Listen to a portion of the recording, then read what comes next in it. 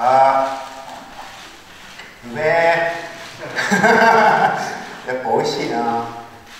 え伝えにくい質問かもしれないのでフリップを用意させていただきました、は今回のテレビ CM ではコク苦味酸味のその奥にある香りと味わいを楽しんでいただいていますが、はい。星野さんの奥にある意外な一面はどんなところなんでしょうか？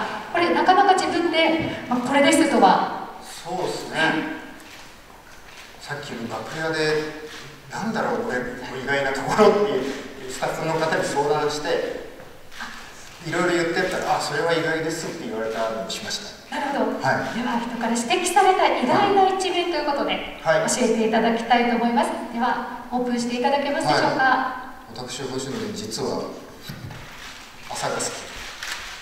朝が好きです。はい。なんかあの僕深夜ラジオをね6年7年目なんですけど「オールナイトニッポン」星野源の「オールナイトニッポン」今日もあるんですけどなんかなんとなくこう深夜に作業することもずっと多くて結構夜型でもあるのであの深夜に起きてることが多いしそういうエピソードをよく話すんですけど実は朝が好きです。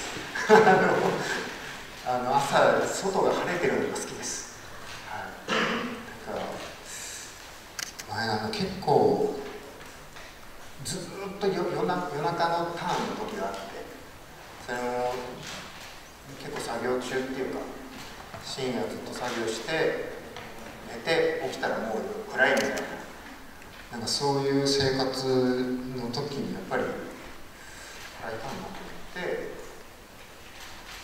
朝日を見るようにしたんですけど朝今ねちょっと台風だから曇ってますけどやっぱりなんか朝はいいですね、うんなんかこうパワーをもらえるというか元気になるんでしょうか？そうですね。あとコーヒーが美味しいんですよ。うん。なんかねパキッとしてねいいですよね、朝の一杯は違いますか？うんそうですね。なんか一日頑張ろうみたいな気持ちになりますよね。確かにこう夜のイメージはこうラジオのイメージとかもあるので、はい。だったんですが朝が好きというのは意外だったかもしれないですよかったですはいもうぴったりなことを紹介していただきました。新しいですね。こう朝い。ろいろとオファーが来ちゃうかもしれないですね。朝そうですね。なるべく朝早くない仕事が多いといいなと思います。今日も今日もこの時間で本当に嬉しいですね。ありがとうございます本当に、でも気持ちいい朝を迎えて一日お仕事美味しいコーヒー飲んで。そうですね。はい、はい、これからもたくさん創作活動あると思いますがはい。私たち楽しみにしております。ありがとうございます。ありがとうございます